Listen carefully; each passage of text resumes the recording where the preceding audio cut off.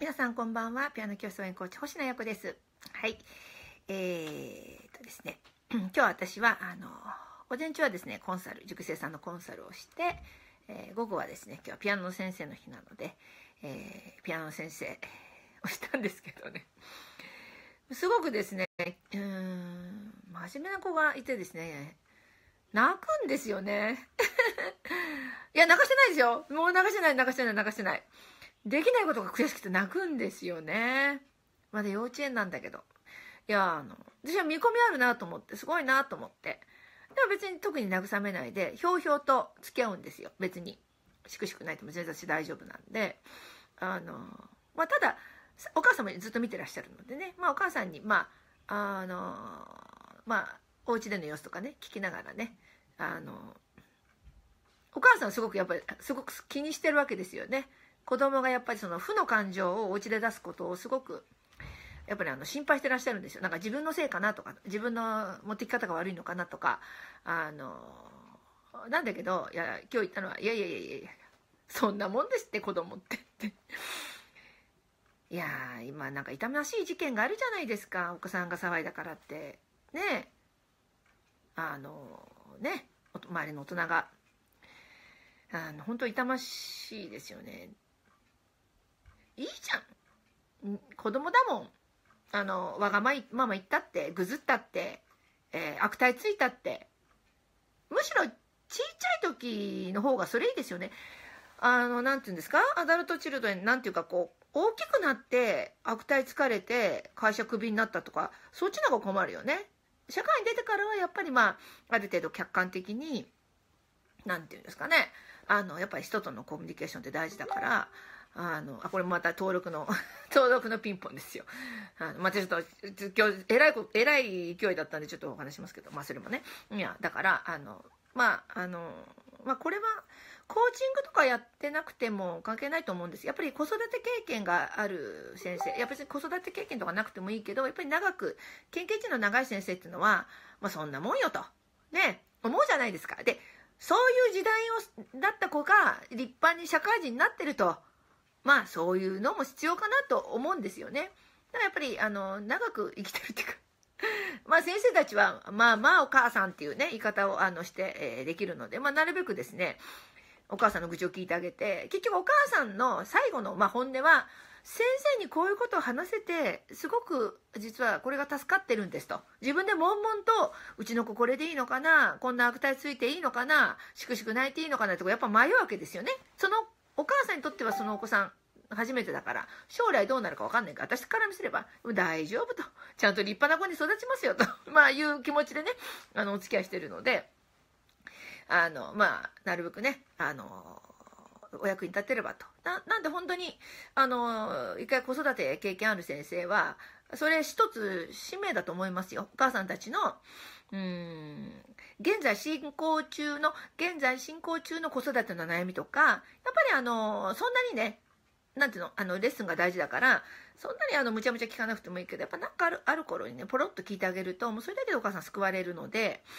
あの私は結構好きですね。あのやりくり。なんかやりくりできるんですよね別にがっつり聞いててそれでレッスンが止まるわけじゃなくてなんかレッスンの合間にこうお母さんとそういう話をするのがなんかできるというかできるんで、まあ、そんなこともねされたいいかななんて思ってはい。で、昨日のですね、夜にですね、ちょうど24時間前ですよ。また、まあ、なってます、なってます。えー、長野の人気ナンバーワン教室、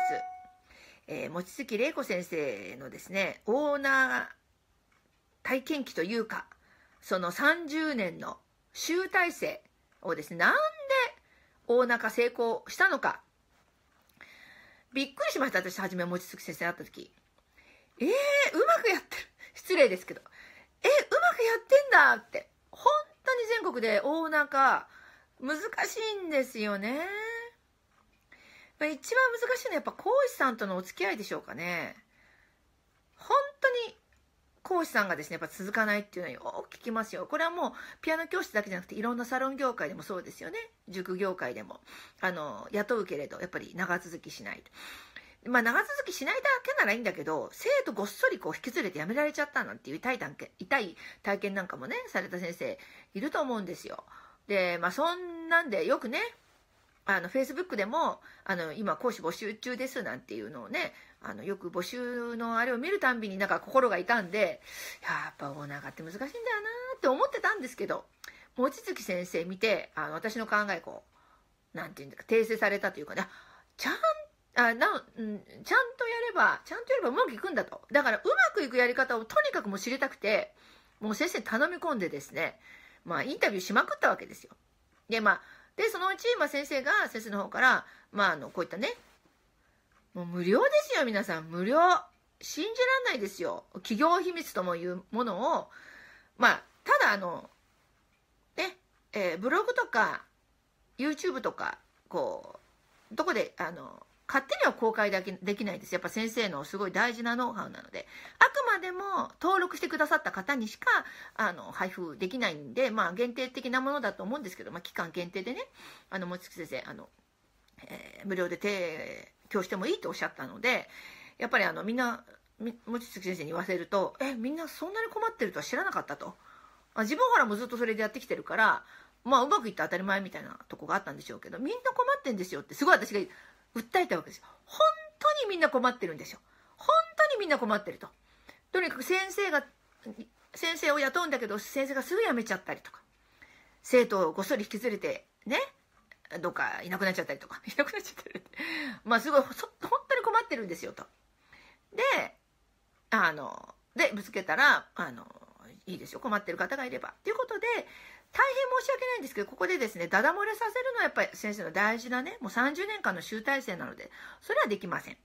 えー、YouTube も限定公開で配布してます。えー、まあ、明日ね、その、まあ、ここでも明日公開しますけど、今のところですね、私のメルマガと私の LINE アットでだけですね、登録した方にだけ、えー、1話から7話までね、あの、先生のノウハウを、無料のノウハウを、今喋ってくれた動画を、まあ、オンライン講座っていうことでね、えー、配布してますので、えー、興味のある方は、えー、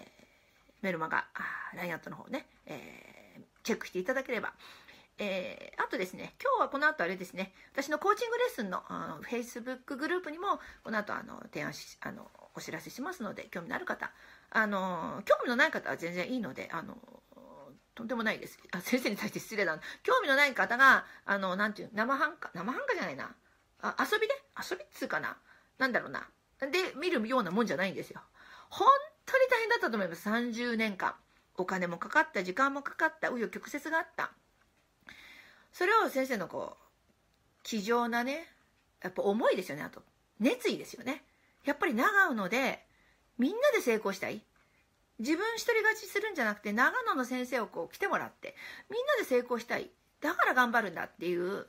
本当に血と汗の涙の検証のプログラムを無料で公開してくれてるんで